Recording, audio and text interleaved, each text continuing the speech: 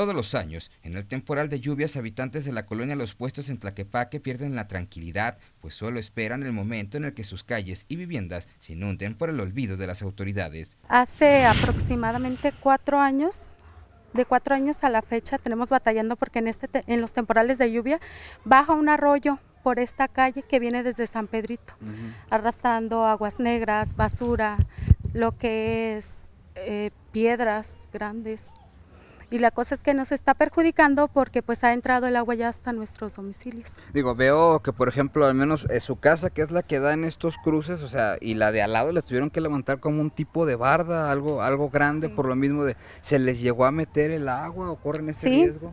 Hace tres años, de hecho a mí me derrumbó toda la parte trasera, una barda, de la parte trasera y dos partes de cada lado se llevó, el, aparte de mis muebles y todas mis cosas.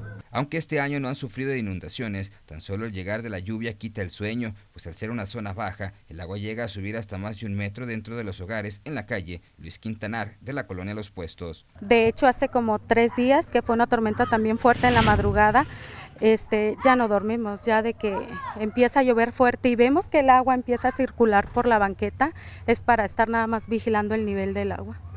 Oiga señora, ¿y a qué se debe? ¿Qué, ¿Qué les dicen a ustedes del por qué se da tanta corriente de agua? ¿Por qué tan fuerte? Yo no estoy muy informada de eso, pero a lo que tengo entendido es que desviaron un arroyo y lo desembocaron a que corra por las calles. Y si te fijas, ni siquiera las calles están aptas como para tener fluido de agua. Las lluvias del temporal no han inundado viviendas en esta zona. Lo que se ha ocasionado son destrozos de vialidades, pues la Luis Quintanar se encuentra sin la piedra ahogada que originalmente le fue colocada. Sí, todo esto. Y también en gran parte lo malo es que bailas deja dentro de casas.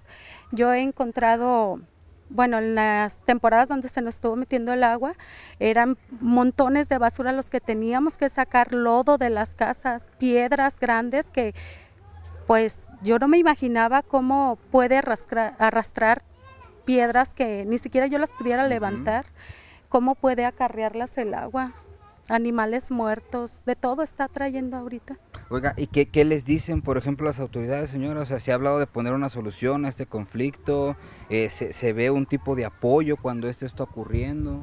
Sí, ah, bueno, apoyo sí se ha visto. De repente Aquí tenemos a protección civil, cada tormenta que empieza a ver, eh, aquí en la esquina se pone ya una camioneta, brigada de protección civil para cualquier cosa, vigilando el cauce del arroyo. Soluciones concretas es lo que piden vecinos de la colonia Los Puestos en Tlaquepaque, pues dicen que aunque sí se brinda el apoyo cuando se necesita, la calidad del material es tan mala que a las horas este termina dentro de las viviendas. Claro que sí, de hecho los mismos vecinos de aquí a espaldas son los que se encargan de emparejar la calle, porque pues de aquí a que Mira, muchas veces ha pasado esto. Hoy en la mañana vienen y arreglan, para la tarde cae una tormenta y ¿dónde quedó la arena que trajeron?